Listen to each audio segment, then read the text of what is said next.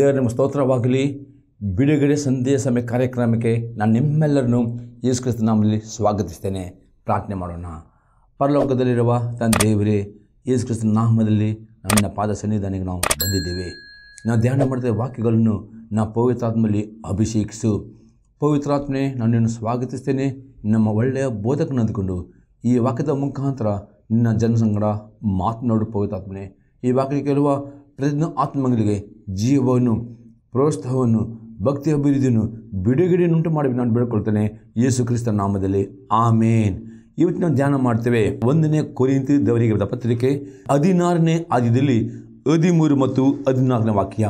First Corinthians sub sixteen verse thirteen and fourteen verse ಎಚ್ಚರವಾಗಿರಿ ಕ್ರಿಸ್ತ ನಂಬಿಕೆಯಲ್ಲಿ ದೃಢವಾಗಿ ನಿಲ್ಲಿರಿ, ಶೂರರಾಗಿರಿ, ಬಲಗೊಳ್ಳಿರಿ ನೀವು ಮಾಡುವುದನ್ನೆಲ್ಲ ಪ್ರೀತಿಯಿಂದ ಮಾಡಿರಿ.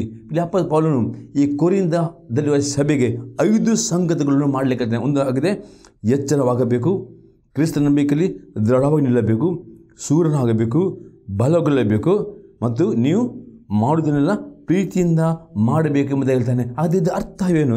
ಯಾವ ರೀತಿಯಲ್ಲಿ ನಾವು ಎಚ್ಚರವಾಗೋದು ಒಂದೊಂದು ಸಂಗತಿ ನಾವು ಬೇರೆ ನೋಡಬೇಕು ಮೊದಲನೇ ಸಂಗತಿ ನೋಡ್ತೇವೆ, ಎಚ್ಚರವಾಗಬೇಕು. ಇದರ ಕುರಿತು ನೋಡಬೇಕು ಒಂದನೇ ಪೇತ್ರ ಪತ್ರಿಕೆ ಐದನೇ ಐದರಲ್ಲಿ ಎಂಟು ಮತ್ತು ಒಂಬತ್ತನೇ ವಾಕ್ಯ. First Peter chapter five verse eight and nine ಸ್ವಸ್ಥಚಿತ್ತರಾಗಿರಿ, ಎಚ್ಚರವಾಗಿರಿ.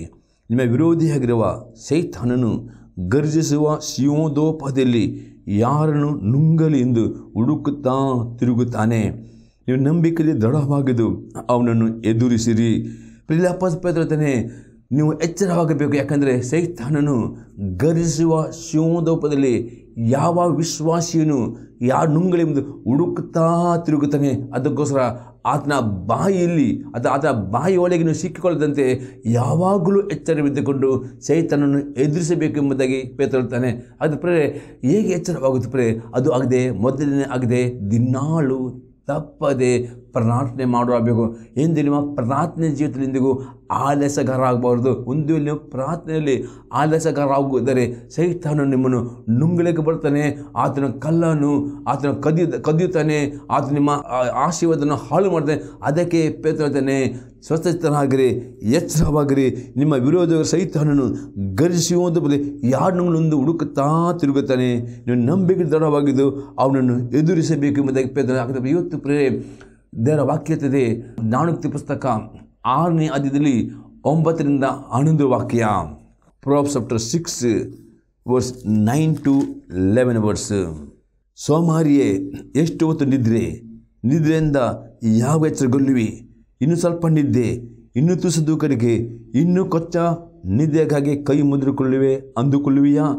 ಬಡತನವು ದಾರಿಗಳನ್ನಾಗು ಕೊರತೆಯು ಪಂಜುಗಳಂತೆಯೂ ನಿನ್ನ ಮೇಲೆ ಬೀಳಿವು ಯಾಕೆ ಚಾರ ಇರಬೇಕಂದ್ರೆ ಒಂದು ಪ್ರಾರ್ಥನೆ ಜೀವಿತದಲ್ಲಿ ನೀವು ಆಲಸ್ಯಗಾರಿಕೊಂಡು ನೀವು ಪ್ರಾರ್ಥನೆ ಮಾಡಿಬಿಟ್ಟು ಇನ್ನೂ ಆಲಸ್ಯರಾಗಿ ನಿದ್ರೆಯನ್ನು ಮಾಡುವುದಾದರೆ ಪ್ರೇರೆ ಸೈತನ್ನು ಕಲ್ಲನೋಪದಲ್ಲಿ ಬಂದು ಆರ್ಥಿಕ ಬಡತನ, ಆತ್ಮಿಕ ಬಡತನ ಮುಖಾಂತರ ಅಟ್ಯಾಕ್ ಮಾಡ್ತಾನೆ ಅದಕ್ಕೆ ಪೇತ ಹೇಳ್ತಾನೆ, ಸೈತಾನನು ಪ್ರೇರೆ ಯಾವ ವಿಶ್ವಾಸಿಯು ಪ್ರಾರ್ಥನೆ ಮಾಡಿದಲೋ ಯಾವ ವಿಷಯದ ಪ್ರಾರ್ಥನೆ ಜೀವಿತದಲ್ಲಿ ಆಲಸಕರನಾಗ್ತಾನೋ ಯಾವ ವಿಷಯದ ಪ್ರತಿ ಆದಿತ್ಯರ ನಂಬಿಕಸ್ಥನಾಗಿ ಕರ್ತನ ಸಭೆಯಲ್ಲಿ ಅನ್ನಿಟ್ಟಿದ್ರು ಅಂಥ ವಿಶ್ವಾಸಗಳನ್ನು ನುಂಗಲಿಕ್ಕೆ ಆತನು ನೋಡುತ್ತಾ ಇರ್ತಾನೆ ಅದಕ್ಕೆ ಆ ಸೈತನ ಬಾಯಿಗೆ ನೀವು ಸಿಕ್ಕಿಕೊಳ್ಳಬಾರದೆ ಅಪ್ಪಸ್ಲ ಪೇತ್ರತಾನೆ ನೀವು ಪ್ರಾರ್ಥನೆಯಲ್ಲಿ ಎಚ್ಚರವಾಗಿರಬೇಕು. ಎಂದಿಗೂ ಪ್ರಾರ್ಥನೆಯಲ್ಲಿ ಸೋಮರಿಗಳಾಗಬಾರದು ಎಂಬುದಾಗ್ತಾನೆ ಅಷ್ಟೇ ನೀವು ನಂಬಿಕೆ ದೃಢವಾಗಿಕೊಂಡು ಸೈತನ ಎದುರಿಸಬೇಕು. ನಂಬಿಕೆ ದೃಢವಾಗುವುದು ಮತ್ತು ಸೈತನ ಎದುರಿಸುವುದು ಇದು ಅರ್ಥವಾಗಿದೆ. ಪ್ರೇ ಯಾಕೌಂಡ್ ಬಿಟ್ಟ ಪತ್ರಿಕೆ ನಾಲ್ಕನೇ ಅದಲ್ಲಿ ಏಳನೇ ವಾಕ್ಯ, James chapter four, verse seven. ಈಗಿರಲಾಗಿ ದೇವರಿಗೆ ಒಳಗಾಗಿರಿ ಸೈತನನ್ನು ಎದುರಿಸಿರಿ, ಅವನು ನಿಮ್ಮನ್ನು ಬಿಟ್ಟು ಓಡಿ ಹೋಗೋನು ಪ್ರೇ ದೇವರ ವಾಕ್ಯಕ್ಕೆ ಎಷ್ಟು ವಿಧರಾಗಿರ್ತೀರೋ ಆಗ ಮಾತ್ರ ನಿಮಗೆ ಸೈತನನ್ನು ಎದುರಿಸಲಿಕ್ಕೆ ಸೈತ ಓಡಿಸಲಿಕ್ಕೆ ನೀವು ಅಧಿಕಾರ ಹೊಂದ್ತೀರಿ ಆಗ ಆತನು ನಿಮ್ಮನ್ನು ಬಿಟ್ಟು ಓಡಿ ಹೋಗ್ತೀರಿ ಒಂದು ವೇಳೆ ನೀವು ಪ್ರಾರ್ಥನೆ ಮಾಡುವುದಿಲ್ಲ, ಪ್ರಾರ್ಥನೆಯಲ್ಲಿ ಆಲಸಗಾರಾಗ್ತೀರಿ ಮತ್ತು ಪ್ರತಿ ಆದಿತ್ಯರ ಕರ್ತನ ಸಭೆಯೊಟ್ಟಿಗೆ ಸೇರಿ ಅನ್ಯತೆ ಮ- ಆಗ ಪ್ರೇ ಸೈತನ ನಿಮ್ಮ ಆಶೀರ್ವಾದವನ್ನು, ನಿಮ್ಮ ಸಮಾಧಾನವನ್ನು, ನಿಮ್ಮ ಕುಟುಂಬವನ್ನು ನಾನಾ ರೀತಿಯಲ್ಲಿ ಆತನು ನಿಮ್ಮ ನಿಮ್ಮ ನುಂಗಲಿಕ್ಕೆ ಬರುತ್ತಾನೆ. ಅದಕ್ಕೆ ಪೌಲನು ಹೇಳ್ತಾನೆ, ಆತ್ಮಿಕ ಜೀವಿತದಲ್ಲಿ, ಅಂದರೆ ಪ್ರಾರ್ಥನೆಯಲ್ಲಿ ಎಚ್ಚರವಾಗಿರಬೇಕು ಹೇಳ್ತಾನೆ. ಮತ್ತು ಪೇತ್ರ ಹೇಳ್ತಾನೆ ನಂಬಿಕೆಯಲ್ಲಿ ದೃಢವಾಗಿ ನಿಲ್ಲಬೇಕು. ಪ್ರೇ, ದೇವರ ವಾಕ್ಯಕ್ಕೆ ವಿಧೇಯರಾದರೆ ಮಾತ್ರವೇ ನಂಬಿಕೆಯಲ್ಲಿ ದೃಢವಾಗಿ ನಿಲ್ಲಕ್ಕೆ ಸಾಧ್ಯವಾಗುತ್ತೆ. ಮತ್ತು ದೇವರ ವಾಕ್ಯ ವಿಧೇಯಕೊಂಡು ನೀವು ಸೈತನ್ನು ಎದುರಿಸುವಾಗ ಮಾತ್ರ ಅದು ಬಿಟ್ಟು ಓಡೋಗ್ತಾನೆ ಪ್ರೇ, ಒಂದು ವೇಳೆ ದೇವರ ವಾಕ್ಯ ನಾವು ಅವಿದಾಗ್ತಿರೋ ಆಗ ನಿಮ್ಮ ನಂಬಿಕೆಯಲ್ಲಿ ಬಲ ಇರುವುದಿಲ್ಲ, ನಿಮ್ಮ ನಂಬಿಕೆಯಲ್ಲಿ ಶಕ್ತಿ ಇರುವುದಿಲ್ಲ, ಆಗ ನೀವು ಸೇತನ ಎದುರಿಸಲಿಕ್ಕೆ ಆಗುವುದಿಲ್ಲ. ಪ್ರೇ ಸೈತನ್ನು ಎದುರಿಸಬೇಕು. ಅದು ನಿಮ್ಮ ಕುಟುಂಬವನ್ನು, ನಿಮ್ಮನ್ನು ಮುಟ್ಟಬಾರ್ದಾದರೆ ದೇವರ ವಾಕ್ಯ ವಿಧ ಆದರೆ ಮಾತ್ರವೇ ಈ ಸುಖದ ಅಧಿಕಾರ ಹೊಂದಿಕೊಳ್ತೀರಿ ನಿಮ್ಮ ನಂಬಿಕೆ ಬಲ ಸಾಲಾಗಿದೆ ಆ ನಂಬಿಕೆಯಿಂದ ಸೈತನ ಎದುರಿಸುವಾಗ ಅದು ಬಿಟ್ಟು ಓಡಿ ಹೋಗ್ತೀರಿ ಎಂಬುದಾಗಲಿ ಪೇತ್ರನು ಹೇಳ್ತಾನೆ ಆದರೆ ನೀನು ಒಂದಿನ ಉಪದೇಶವನ್ನು ಅದನ್ನು ಕೇಳಿದ ರೀತಿಯನ್ನು ನೆನಪಿ ತಂದುಕೊಂಡು ಅದನ್ನು ಕಾಪಾಡಿಕೋ. ಪ್ರೇರೆ ಇವತ್ತು ನಿಮ್ಮ ಆತ್ಮ ಯಾವಾಗಲೂ ಐದು ಮಂದಿ ಬುದ್ಧಿವಂತಿಕೆಯ ಕನ್ನಿಕೆಯರು ಅವರು ತಮ್ಮ ಆತ್ಮದಲ್ಲಿ ಎಣ್ಣೆಯನ್ನು ತೆಗೆದುಕೊಂಡು ಅವರು ಯಾವಾಗಲೂ ಎಚ್ಚರಿದ್ದರು ಆ ರೀತಿ ನಿಮ್ಮ ಆತ್ಮದಲ್ಲಿ ಪವಿತ್ರಾತ್ಮನ ಎಣ್ಣೆಯನ್ನು ತೆಗೆದುಕೊಂಡು ಪ್ರತಿ ಗಲಿಗೆ ಯೇಸುಕ್ರಿಸ್ತನ ರೂಪಾಂತರಕ್ಕೆ ಎಚ್ಚರವಾಗಬೇಕಾದರೆ ಪ್ರಕಟಣೆ ದೇವರ ಆತ್ಮನು ಆ ಸಾಧಿಸಬೇಕಾದರೆ ನೀನು ಒಂದು ಉಪದೇಶವನ್ನು ಅದು ಕೇಳಿದ ರೀತಿ ನೆನಪು ತಂದುಕೊಂಡು ಅದನ್ನು ಕಾಪಾಡಿಕೋ. ಪ್ರಿಯವತಿ ಟಿ ವಿ ಮಾಧ್ಯಮದಲ್ಲಿ ನೀವು ಕೇಳುವಂಥ ಸಂದೇಶವನ್ನು ಸರಿಯಾಗಿ ಕೇಳಿರಿ. ಅರ್ಥ ಮಾಡಿರಿ. ಪುನಃ ಪುನಃ ಕೇಳಿಕೊಳ್ಳಿರಿ ಪರೇ ಮತ್ತು ಅದನ್ನು ಕಾಪಾಡಿಕೊಳ್ಳಬೇಕು. ಕಾಪಾಡಿಕೊಳ್ಳಿ ಅದಕ್ಕೆ ವಿಧೇಯರಾಗುವುದರ ಮಾತ್ರವೇ ನಿಮ್ಮ ಆತ್ಮದಲ್ಲಿ ಜೀವವು ತುಂಬಪಡ್ತದೆ ಆ ಜೀವ ಅಭಿವೃದ್ಧಿ ಆಗ್ತದೆ. ಇಲ್ಲಿ ಇಲ್ಲದೆ ಇರ್ತದೆ. ವಿಧೇಯರಾಗಿ ದೇವರು ತಿರುಗಿಕೊಳ್ಳಬೇಕು.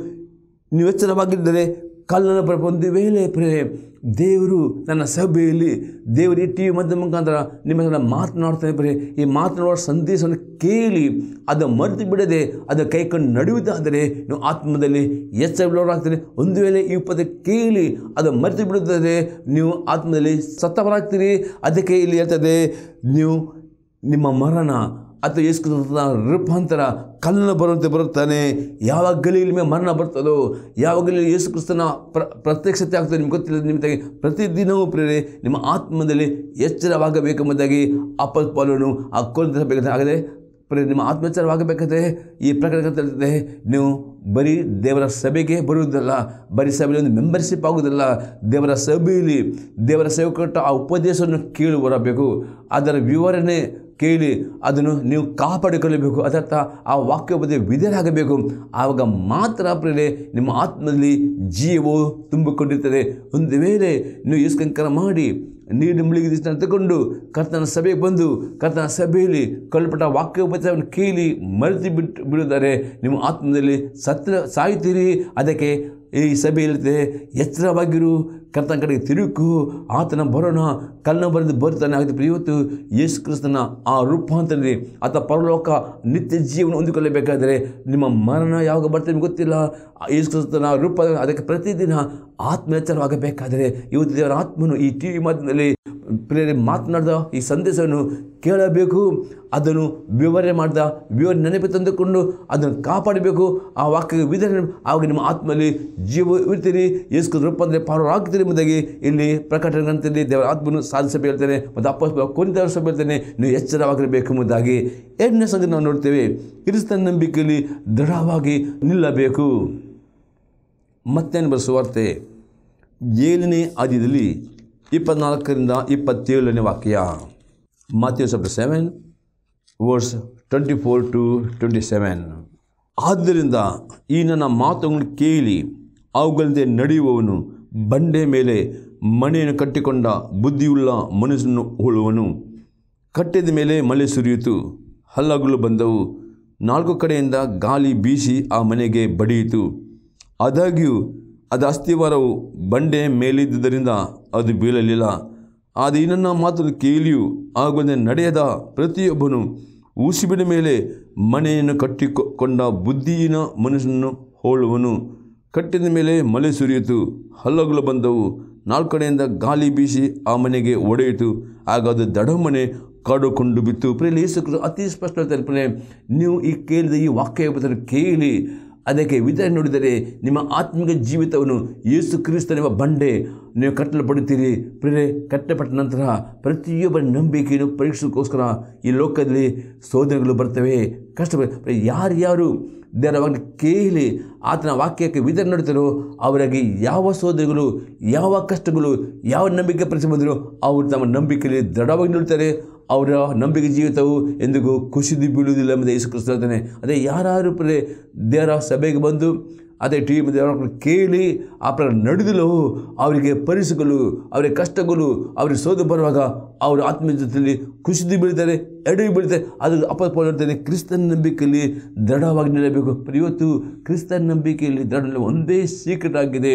ದಿನಾಳು ದೇವರ ವಾಕ್ಯಗಳನ್ನು ಓದುವವರಾಗಬೇಕು, ಧ್ಯಾನಿಸುವವರಾಗಬೇಕು ಮತ್ತು ಕೇಳಿದ ಪ್ರತಿಯೊಂದು ಸಂದೇಶವನ್ನು ನಿಮ್ಮಲ್ಲಿ ಕಾಪಾಡಿಕೊಳ್ಳಬೇಕು. ಅದೇ ವಿಧರಾಗಿ ನಡೆಯುವುದರಲ್ಲಿ ಮಾತ್ರವೇ ನಿಮ್ಮ ಆತ್ಮೀಯ ಪ್ರೇರೆ ನಿಮ್ಮ ನಂಬಿಕೆಯಲ್ಲಿ ಬಲಗೊಳ್ಳುತ್ತೀರಿ. ಯಾವ ಸೋದಲು ಬಂದರೂ ನೀವು ಎಡವಿ ಬೀಳುವುದಿಲ್ಲ. ಒಂದು ವೇಳೆ ಪ್ರೇರೆ ನೀವು ದೇವರ ವಾಕ್ಯ ದಿನಗಳು ಓದುವುದಿಲ್ಲವೋ, ವಾಕ್ಯ ಧ್ಯಾನ ಮಾಡೋದಿಲ್ಲೋ ಮತ್ತು ಕೇಳಿದ ವಾಕ್ಯವನ್ನು ಮರೆತು ಬಿಡ್ತಾರೋ ವಾಕ್ಯ ವಿಧ ಅಂತ ನಂಬಿಕೆ ಪ್ರೇರೆ ಪರಿಸಲ್ಪಡುವಾಗ ಅವ್ರ ನಂಬಿಕೆಯಲ್ಲಿ ಕುಸಿದು ಹೋಗ್ತಾರೆ, ಅದು ಬಿದ್ದು ಹೋಗುತ್ತೆ ಆ ರೀತಿ ಆಗಬಾರದು ಎಂಬುದಾಗಿ ಆಪದಗಳನ್ನು ಆ ಕೊರಿತ ಹೇಳ್ತಾನೆ ಕ್ರಿಸ್ತನ ನಂಬಿಕೆಯಲ್ಲಿ ದೃಢವಾಗಿ ನಿಲ್ಲಬೇಕು ಎಂಬುದರಲ್ಲಿ ಅವರನ್ನು ಎಚ್ಚರಿಸುತ್ತಾನೆ. ಇನ್ನೊಂದು ವಾಕ್ಯ ನೋಡಪ್ರೆ ಹೇಗೆ ನಂಬಿಕೆಯಲ್ಲಿ ದೃಢವಾಗಿ ನಿಲ್ಲುವುದು ಎಂಬುದಾಗಿ ಕಲಶವರಿಗೆ ಪತ್ರಿಕೆ ಎರಡನೇ ಆದ್ಯದಲ್ಲಿ ಆರು ಮತ್ತು ಏಳನ ವಾಕ್ಯ. Colossians chapter two oh six and seven ಆದುದರಿಂದ ನೀವು ಕರ್ತನಾದ ಯೇಸು ಎಂಬ ಕ್ರಿಸ್ತನನ್ನು ಅಂಗೀಕರಿಸಿದಂತೆಯೇ ಆತನಲ್ಲಿದ್ದವರಾಗಿ ನಡೆದುಕೊಳ್ಳಿರಿ. ಆತನಲ್ಲಿ ಬೇರೂರಿಕೊಂಡು ಭಕ್ತಿಯ ವೃದ್ಧಿಯನ್ನು ಹೊಂದಿ ನಿಮಗೆ ಬೋಧಿಸಲ್ಪಟ್ಟ ಉಪದೇಶದ ಪ್ರಕಾರವೇ ಕ್ರಿಸ್ತನ ನಂಬಿಕೆಯಲ್ಲಿ ನೆಲೆಗೊಂಡು ದೇವರಿಗೆ ಹೆಚ್ಚೆಚ್ಚಾಗಿ ಸ್ತೋತ್ರ ಮಾಡುವಾಗಿರಿ ಇಲ್ಲಿ ಸಹ ಅಪ್ಪಸ್ಪಲನು ಕೊಲಿಸಲು ಸಭೆ ಹೇಳ್ತಾನೆ ನೀವುಗೆ ಕೊಟ್ಟಲ್ಪಟ್ಟ ಉಪದೇಶವನ್ನು ಕೈಕೊಂಡು ನಡೆ ನಡೆ, ನಡೆಯಬೇಕು. ಪ್ರೇ, ನೀವು ನಂಬಿಕೆಯಲ್ಲಿ ದೃಢವಾಗಿ ನಿಲ್ಲಬೇಕಾದರೆ ನಿಮಗೆ ಸಿಗುವಂಥ ಈ ಉಪದೇಶವು ಕೇಳಬೇಕು. ಆ ಉಪದೇಶವನ್ನು ಮರೆತು ಬಿಡದೆ ಅದು ಅದರಲ್ಲಿ ಧ್ಯಾನ ಮಾಡಿ ಅದಕ್ಕೆ ವಿಧರಾಗುವುದರಲ್ಲಿ ಮಾತ್ರವೇ ನಂಬಿಕೆಯಲ್ಲಿ ನೀವು ದೃಢವಾಗಿ ನಿಲ್ಲಕ್ಕೆ ಸಾಧ್ಯವಾಗ್ತದೆ. ಒಂದು ವೇಳೆ ಪ್ರೇರೆ ನೀವು ದಿನಾಲು ಧ್ಯಾನ ಓದಿಲ್ಲವೋ ಮತ್ತು ಕೆಲವು ಉಪದ ಮರೆತು ಬಿಡಿದರು ನಂಬಿಕೆಯಲ್ಲಿ ನಿಧಾನವಾಗಿ ನಿಲ್ಲಕ್ಕೆ ಆಗುವುದಿಲ್ಲ ಅಂದ ನಂಬಿಕೆ ಪುಟಕ್ಕಾಗಲ್ಪಡುವಾಗ ಅದು ಬಿದ್ದು ಹೋಗ್ತದೆ ಅದು ನಷ್ಟವಾಗ್ತದೆ. ಅದಕ್ಕೆ ದೇವರ ಆತ್ಮನು ಪ್ರೇರೆ ಆಪದ ಪಾಲನ್ನು ಆ ಕೊರತೆ ಬೀಳ್ತೇನೆ ನೀವು ಕ್ರಿಸ್ತ ನಂಬಿಕೆಯಲ್ಲಿ ಎಚ್ಚರವಾಗಬೇಕು ನಂಬಿಕೆಯಲ್ಲಿ ದೃಢವಾಗಿ ನಿಲ್ಲಬೇಕು ಎಂಬುದಾಗಿ ಅಲ್ಲಿ ಅಪ್ಪದ ಪಾಲನ್ನು ಎಚ್ಚರಿಸ್ತಾನೆ ಎರಡನೇ ಅಧ್ಯಾಯದಲ್ಲಿ ಹದಿನೇಳರಿಂದ ಇಪ್ಪತ್ತಾರನೇ ವಾಕ್ಯ James hour two seventeen to twenty six ಹಾಗೆ ಕ್ರಿಯೆಗಳಿದ್ದರೆ ನಂಬಿಕೆಯು ತನ್ನಲ್ಲಿ ಜೀವವಿಲ್ಲದು. ಈಗಲವಾದರೆ ಒಬ್ಬ ಮನುಷ್ಯನು ನಿನಗೆ ನಂಬಿಕೆಂಟು, ನನ್ನ ಕ್ರಿಯೆಗಳುಂಟು. ನಾನು ನನ್ನ ಕ್ರಿಯೆಗಳ ಮುಖಾಂತರ ನನ್ನ ನಂಬಿಕೆಯನ್ನು ನಿನಗೆ ತೋರಿಸುತ್ತೇನೆ. ನೀನು ಕ್ರಿಯೆಗಳಿದೆ ನಿನ್ನ ನಂಬಿಕೆಯನ್ನು ನನಗೆ ತೋರಿಸು, ನೋಡೋಣ ಎಂದು ಹೇಳುವನಲ್ಲವೇ ದೇವರೊಬ್ಬನೇ ಎಂದು ನೀನು ನಂಬುವನು ಹಾಗೆ ನಂಬುವುದು ಒಳ್ಳೆಯದು. ದೈವಗಳು ಕೂಡ ಹಾಗೆ ನಂಬಿ ಎದರಿ ನಡುಗುತ್ತವೆ. ಆ ಪ್ರಯೋಜಕನೇ ಕ್ರಿಯೆಗಳಿಲ್ಲದ ನಂಬಿಕೆ ವ್ಯರ್ಥವಾಗಿದೆ ಎಂಬುದಕ್ಕೆ ದೃಷ್ಟಾಂತ ಬೇಕೋ? ನಮ್ಮ ಪಿತೃವಾದ ಅಬ್ರಹಾಮನು ಈಸಾಕನೆಂಬ ತನ್ನ ಮಗನನ್ನು ಯಜ್ಞವೇದಿಯ ಮೇಲೆ ಅರ್ಪಿಸಿದಾಗ ನೀತಿವಂತನೆಂಬ ನಿರ್ಣಯವನ್ನು ಹೊಂದಿದ್ದು ಕ್ರಿಯೆಗಳಿಂದಲವೇ. ಅವನ ನಂಬಿಕೆಯು ಕ್ರಿಯೆಗಳೊಂದಿಗೆ ಪ್ರವರ್ತಿಸಿ ಆ ಕ್ರಿಯೆಗಳಿಂದಲೇ ಸಿದ್ಧಿಗೆ ಬಂತೆಂಬುದು ಕಾಣಬರುತ್ತದಲ್ಲ? ಅಬ್ರಾಹ್ಮನು ದೇವರು ನಂಬಿದನು. ಆ ನಂಬಿಕೆ ಅವನ ಲೆಕ್ಕಕ್ಕೆ ನೀತಿಯಿಂದ ಎನಿಸಲ್ಪಟ್ಟಿತು ಎಂಬ ಶಾಸ್ತ್ರದ ಮಾತು ಹೀಗೆ ನೆರವೇರಿತು. ಮತ್ತು ದೇವರ ಸ್ನೇಹಿತನೆಂಬ ಹೆಸರು ಅವನಿಗೆ ಉಂಟಾಯಿತು. ಮನಸ್ಸನ್ನು ಕ್ರಿಯೆಗಳಿಂದ ನೀತಿವಂತನೆಂದು ನಿರ್ಣಯಿಸಲ್ಪಡುತ್ತಾನೆ ಹೊರತು ಬರೀ ನಂಬಿಕೆಯಿಂದಲ್ಲವೆಂದು ನೋಡುತ್ತೀರಿ.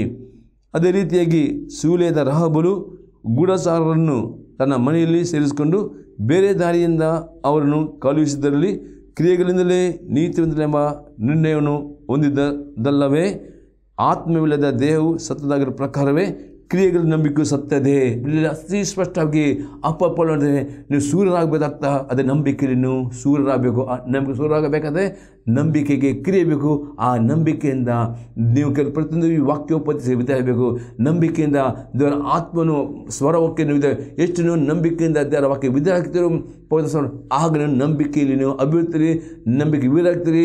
ಆ ನಿಮ್ಮ ನಂಬಿಕೆ ಕ್ರಿಯೆ ಎರಡೂ ಸೇರುವಾಗ ನೀವು ನಂಬಿಕೆಯಲ್ಲಿ ಸೂರ್ಯ ನಾವು ಅಬ್ರಹ್ಮನು ಪ್ರೇರಣೆ. ದೇವರು ಅವನಿಗೆ ಹೇಳಿದನು, ಫಸ್ಟ್ ಅವನಿಗೆ ಹೇಳಿದನು, ನೀನು ಕಾಣ ನಿನ್ನ ನಿನ್ನ ಬಂಧು ಬಲಗವನ್ನು ತಾಯಿ ತಂದೆಯನ್ನು ಬಿಟ್ಟು ನಾತ್ರ ದೇಶಕ್ಕೆ ಹೊರಟು ಬರಬೇಕಂತ ಹೇಳುವಾಗ ಅಬ್ರಹ್ಮನು ಇಮಿಡಿಯೇಟ್ ನಂಬಿಕೆಯಿಂದ ದೇವಸ್ಥಾನ ವಿಧಿ ತನ್ನ ಬಂಧು ಬಲಾಗ ತನ್ನ ಹುಟ್ಟು ಊರನ್ನು, ತನ್ನ ತಾಯಿನ ಬಿಟ್ಟು ಅವನು ದೇವತ ಊರಿಗೆ ಬಂದನು. ಆನಂತರ ದೇವರು ಅಬ್ರಹ್ಮ ಹೇಳಿದನು, ನಾನು ನಿನಗೆ ಮಗನನ್ನು ಕೊಡುತ್ತೇನೆ ಎಂದು ಹೇಳಿದಾಗ ಅವನು ಅದನ್ನು ನಂಬಿದನು. ಆ ನಂಬಿಕೆಯಿಂದ ಅವನು ಇಪ್ಪತ್ತ ಐದು ವರ್ಷ ಅವನು ಆ ನಂಬಿಕೆ ದೃಢ ಹಿಡಿತನು ಆ ಇಪ್ಪತ್ತೈದು ವರ್ಷದಲ್ಲಿ ಇಪ್ಪತ್ನಾಲ್ಕು ವರ್ಷ ಆವಾಗ ದೇವರು ಅವನಿಗೆ ಕಾಣಿಸಿಕೊಳ್ಳುತ್ತಾನೆ. ನಾನು ಸರ್ವಸಕ್ತನಾದ ದೇವರು, ನನ್ನ ಮುಂದೆ ನಡೆಕೊಂಡು ಎಂದು ದೇವರು ಅವನಿಗೆ ದರ್ಶನ ಕೊಡುವಾಗ ಅಲ್ಲಿಯೂ ಅವನು ದೇವಕಟ ಆಜ್ಞೆಗೆ ಆಜ್ಞೆಗೆ ಹಾಕಿಕೊಂಡು ಸುನ್ನತಿ ಮಾಡ್ತಾನೆ. ನಂತರ ಪ್ರಿಯರೇ, ಅವನು ದೇವರು, ಅವನ ಪ್ರಾರ್ಥನೆ ಕೇಳಿಕೊಂಡು ಅವನಿಗೆ ಮಗನನ್ನು ಕೊಡು. ಈ ರೀತಿ ಪ್ರಿಯರೇ, ಆ ಮಗನ ಕೊಟ್ಟ ಪುನಃ ದೇವರು ಅಬ್ರಹ್ಮನನ್ನು ಪರೀಕ್ಷೆ ಮಾಡ್ತಾನೆ. ನನ್ನ ಮಗನನ್ನು ನೀನು ತೆಗೆದುಕೊಂಡು ಅಲ್ಲಿ ಯಜ್ಞ ಮಾಡಿ. ಈ ರೀತಿ ಅಬ್ರಹ್ಮ ಪ್ರತಿ ಕ್ಷಣ ದೇವರ ಸ್ವರಕ್ಕೆ, ದೇವರ ಆತ್ಮನ ಸ್ವರಕ್ಕೆ, ದೇವರ ಆಜ್ಞೆ ವಿಧಿಯನ್ನು ಈ ರೀತಿ ಅವನು ನಂಬಿಕೆಯ ತಂದೆಯಾದ ಪ್ರಿಯವತ್ತು ಪ್ರೇರೆ ನೀವು ನಂಬಿಕೆಯಲ್ಲಿ ವೀರರಾಗಬೇಕು. ಹಾಗಾದರೆ ನೀ ಬರೀ ನಂಬಿಕೆ ಅಲ್ಲ ನಂಬಿಕೆಯಲ್ಲಿ ದೇವರ ವಾಗ್ದಾನಗಳನ್ನು ಮಾತನಾಡಿರಬೇಕು, ನಂಬಿಕೆಯಿಂದ ಪ್ರಾರ್ಥನೆ ಮಾಡಬೇಕು, ನಂಬಿಕೆಯಿಂದ ಪ್ರೇ ಅನ್ಯ ಭಾಷೆಯಲ್ಲಿ ಪ್ರಾರ್ಥನೆ ಮಾಡಬೇಕು, ನಂಬಿಕೆಯಲ್ಲಿ ದೇವರ ಪ್ರತಿಯೊಂದು ಆಜ್ಞೆಗೆ ವಿಧಿಸಬೇಕು ನಂಬಿಕೆಯಲ್ಲಿ ದೇವರು ಏನು ನಿಮ್ಮಲ್ಲಿ ಮಾತನಾಡ್ತಾನೋ ಕನಸಲ್ಲಿ ಮಾತನಾಡ್ಬೋದು ನಿಮಗೆ ದರ್ಶನದಲ್ಲಿ ಮಾತನಾಡಬಹುದು ಪ್ರವಾದನೆ ಮುಖಾಂತರ ಮಾತನಾಡಬಹುದು, ವಾಕ್ಯವಾದ ಏನು ದೇವ್ರ ನಿಮಗೆ ವಾಕ್ಯದ ಮುಖಾಂತರ ಮಾತನಾಡ, ಆ ವಾಕ್ಯಕ್ಕೆ ವಿಧಿಸಬೇಕು ದೇವರ ಆಜ್ಞೆಗೆ ಈ ರೀತಿ ನೀವು ನಂಬಿಕೆಯಲ್ಲಿ ನೀವು ಅಭಿವೃದ್ಧಿ ಆದರೆ ಮಾತ್ರವೇ ನಂಬಿಕೆಯ ಕ್ರಿಯೆಗಳನ್ನು ಮಾಡಿಕೊಂಡು ಸೂರ್ಯಕ್ಕೆ ಸಾಧ್ಯವಾಗ್ತದೆ ಎಂಬುದಾಗಿ ಅಪ್ಪಸ್ಪರನ್ನು ಆ ಕೊರಿತ ಬಗ್ಗೆ ಹೇಳುವನಾಗಿದ್ದಾನೆ. ಐದನೇ ಅದ್ಯದಲ್ಲಿ ಹದಿಮೂರರಿಂದ ಹದಿನೈದು ವಾಕ್ಯ ಮತ್ತು ಇಪ್ಪತ್ತಾರನೇ ವಾಕ್ಯ. ಗಲಿತ five verse thirteen to fifteen and twenty six verse ಸಹೋದರರೇ, ನೀವು ಸ್ವತಂತ್ರರಾಗಿರಬೇಕೆಂದು ದೇವ್ ನಿಮ್ಮನ್ನು ಕರೆದನು. ಅದು ನಿಮಗಿರುವ ಸ್ವಾತಂತ್ರ್ಯವನ್ನು ಸರಿಯಾದಿನ ಸ್ವಭಾವಕ್ಕೆ ಆಸ್ಪದವಾಗಿ ಬಳಸದೆ ಪ್ರೀತಿಯಿಂದ ಒಬ್ಬರಿಗೊಬ್ಬರು ಸೇವೆ ಅಪ್ಪಸ್ ಅದನ್ನೇ ಯೇಸು ಕ್ರಿಸ್ತ ಮುಖಾಂತರ ಪರಿಪೂರ್ಣ ಸ್ವಾತಂತ್ರ್ಯವನ್ನು ಕೊಟ್ಟಿದ್ದಾನೆ. ಆ ಸ್ವಾತಂತ್ರ್ಯವನ್ನು ಪಾಪಕ್ಕೆ ಒಪ್ಪಿ ಶರೀರದ ಸ್ವಾಪಕ್ಕೆ ಒಪ್ಪಿಸಿಕೊಡದೆ ಪ್ರೀತಿಯಿಂದ ಒಬ್ಬರೊಬ್ಬರನ್ನು ಪ್ರೀತಿ ಮಾಡಬೇಕು. ಅದು ಪ್ರೀತಿಯಿಂದ ದೇವರ ಸೇವೆ ಮಾಡಬೇಕು ಅಪ್ಪಸ್ ಪಾಲನ್ನು ಹೇಳ್ತಾನೆ. ಅದಕ್ಕೆ ಕರ್ತಾನೆ, ನಿನ್ನ ನೆರೆಯವನನ್ನು ನಿನ್ನಂತೆಯೇ ಪ್ರೀತಿಸು ಎಂಬ ಒಂದೇ ಮಾತಿನಲ್ಲಿ ಧರ್ಮಶಾಸ್ತ್ರವೆಲ್ಲ ಅಡಕವಾಗಿದೆ. ಆದರೆ ನೀವು ಒಬ್ಬರನ್ನೊಬ್ಬರು ಕಚ್ಚಿ ಹರಕೊಂಡು ನುಂಗುವರಾದರೆ ಒಬ್ಬರಿಂದೊಬ್ಬರು ನಾಶವಾದಿರಿ, ನೋಡಿರಿ. ಹೇಳ್ತಾನೆ, ಪ್ರೀತಿಯಿಂದ ದೇವರ ಸೇವೆ ಮಾಡಬೇಕು ಪ್ರೇ ನೀವು ಏನು ಸೇವೆ ಮಾಡ್ತೀರೋ ಪ್ರೇ ಆ ಸೇವೆಗೆ ದೇವರು ನಿಮಗೆ ಬಹುಮಾನ ಕೊಡುತ್ತಾನೆ. ಆ ಆ ಒಂದು ನಿರೀಕ್ಷೆಯಲ್ಲಿ ನಿಮ್ಮ ಕೊಟ್ಟ ತಲಾಂತಗಳನ್ನು ನಿಮ್ಮ ವರಗಳನ್ನು ಪ್ರೀತಿಯಿಂದ ಒಬ್ಬರ ಸೇವೆ ಮಾಡಬೇಕು ಆಗ ಸೇವೆ ಮಾಡುವಾಗ ನೀವು ಯಾರನ್ನು ಪ್ರೇ ಮಾತಿನಲ್ಲಿ ಅವರ ಕಚ್ಚಿ, ಅವರನ್ನು ನೋವು ಮಾಡಿ, ಅವರ ಬಗ್ಗೆ ತಿರುಪು ಮಾಡಿ, ಅವ್ರನ್ನ ದೂರಿಕೊಂಡು ಮಾಡಿದೆ ಪ್ರೀತಿಯಿಂದ ನೀವು ಒಬ್ಬರೊಬ್ಬರು ಸೇವೆ ಮಾಡಬೇಕು ಮತ್ತೆ ಅವರು ವಾಪಸ್ ಫೋನ್ ಹೇಳ್ತಾನೆ. ಅದಕ್ಕೆ ಇಪ್ಪತ್ತರ ವಾಕ್ಯ ಅವನು ಈಗ ಹೇಳ್ತಾನೆ ಅಹಂಕಾರಿಗಳು ಒಬ್ಬರನ್ನೊಬ್ಬರು ಕೆಣಕುವರು, ಒಬ್ಬರ ಮೇಲೆ ಮಸ್ತವರು ಆಗಿದ್ದು ನಮ್ಮ ಪ್ರೇ ನಿಜವಾದ ಪ್ರೀತಿ ನಿಮ್ಮಲ್ಲಿ ಇರುವುದಾದರೆ ಯಾರ ಮೇಲೆಯೂ ನೀವು ಪ್ರೇ ಯಾರ ಎಂದಿಗೂ ಅಹಂಕಾರ ಆಗುವುದಿಲ್ಲ.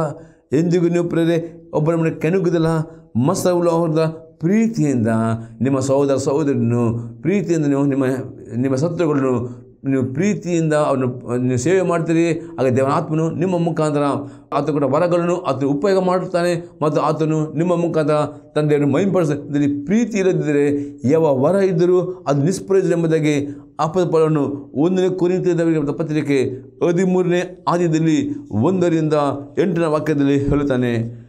First Corinthian thirteen one to eight ನಾನು ಮನುಷ್ಯರ ಭಾಷೆಗಳನ್ನು ದೇವದೂತರ ಭಾಷೆಗಳನ್ನು ಆಡುವನಾದರೂ ಪ್ರೀತಿ ಇಲ್ಲದವನಾಗಿದ್ದರೆ ನಾದ ಕೊಡುವ ಕಂಚು ಗಣ ತಾಳು ಆಗಿದ್ದೇನೆ.